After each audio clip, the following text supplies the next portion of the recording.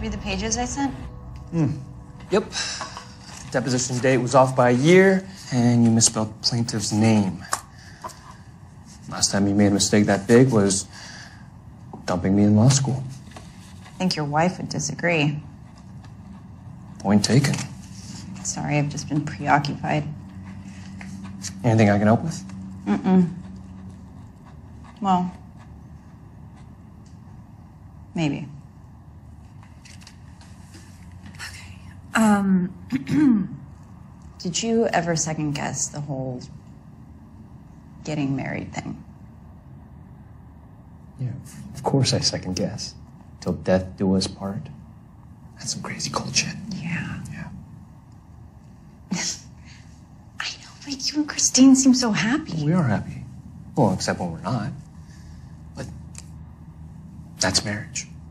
Is there trouble in Tucker Land? No, I didn't say there was trouble. It's just, I don't know. He's just been so distant. He's just not himself. He's not sleeping. Maybe it's pre wedding jitters. I don't know. It's probably nothing. I'm sure it'll all work out. Yeah.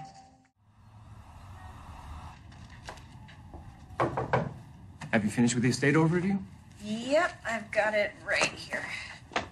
Great. Want to join in? We're in conference room two. Oh, I thought you said you didn't need me. I always need you. I'm meeting Tucker. How's that going? It's not. Want to talk? I can spare a few. Maybe later. You coming to the company party tonight? See you there. Hey, Veronica. Thank you for coming. You must be Simone. I'm Brendan, your dad's estate lawyer. We spoke on the phone. Nice to meet you. Let's begin.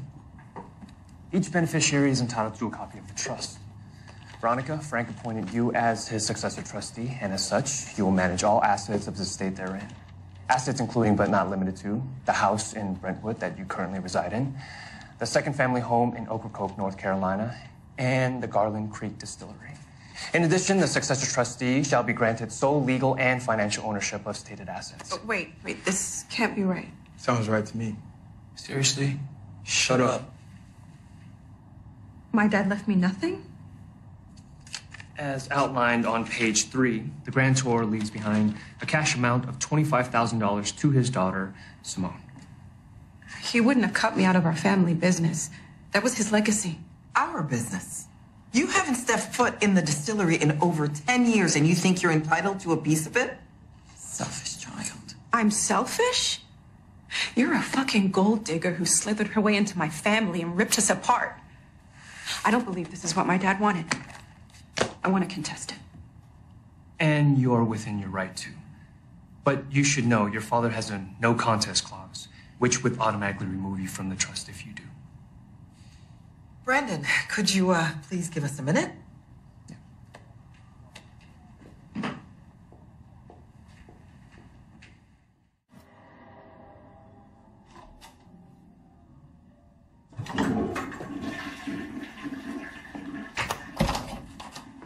Hey, man.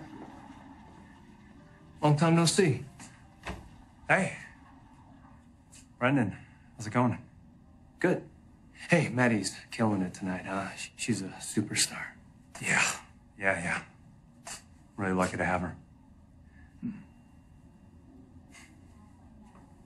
You know you've got to get your shit together, right?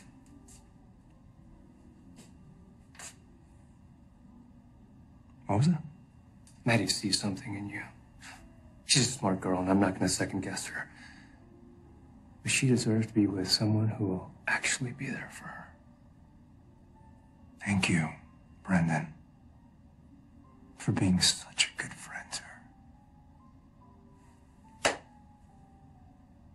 Now get the fuck